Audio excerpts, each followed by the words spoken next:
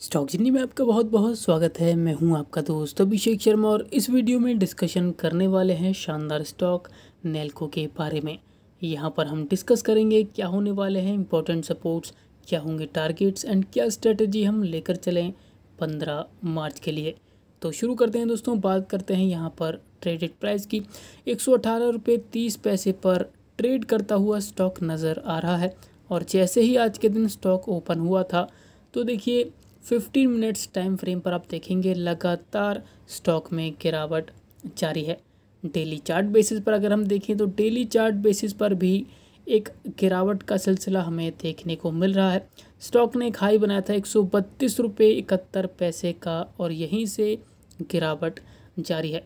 Daily chart basis पर अगर हम इस रेड लाइन को देखें तो दोस्तों, जब जब स्टॉक इस रेड लाइन के करीब आता है तो एक अच्छी खासी तेज़ी हमें ऊपर की तरफ़ देखने को मिलती है। तो देखिए, मैं आपको दिखाता हूँ, ये देखिए यहाँ से तेज़ी दिखी थी, फिर देखिए यहाँ पर भी जैसे ही स्टॉक आया था तो यहाँ पर फिर तेज़ी दिखी थी।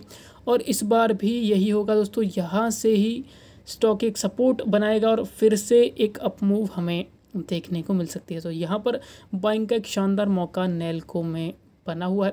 इन लेवल्स पर आप चाहें तो बाइंग करके चल सकते हैं, लेकिन नीचे की तरफ़ एक सपोर्ट है, इसका भी ध्यान रखना है। एक सौ नौ रुपये चौदह पैसे का एक सपोर्ट है दोस्तों।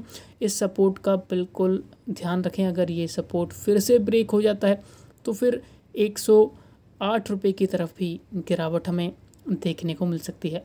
बात करें टारगेट्स की तो देखिए दोस्तों, अगर ऊपर की तरफ़ तेज़ी बरकरार रहती है तो यहाँ से सबसे पहले जो टारगेट अचीव होगा, वो होगा one hundred twenty five rupees then one thirty rupees तो ये इम्पोर्टेंट टारगेट्स ऊपर की तरफ़ नेल्को में लेकर चल सकते हैं। 125 130 ये होने वाले हैं इम्पोर्टेंट टारगेट्स अब बात करते हैं क्या इन लेवल्स पर बाइंग करें या नहीं तो हमारे हिसाब से दोस्तों डेफिनेटली इन लेवल्स पर आपको ऐड ज़रूर करके चलना चाहिए। यहाँ से एक ब्रेकआउट जल्द ही आपको देखने को मिल सकता है।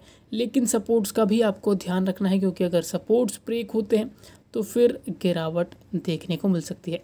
तो यही स्ट्रेटजी आपको अपनानी है नेलको में। आप चाहें तो अपनी खुद की एनालिसिस खुद की रिसर्च ज़रूर करके चल सकते हैं। तो यही बताने के लिए हमने वीडियो बनाई थी। यदि आपको हमारी वीडियोस पसंद आती हैं तो प्लीज़ लाइक करें शेयर करें एंड सब्सक्राइब करें। वीडियो देखने के लिए आपका बहुत बहुत धन्यवाद।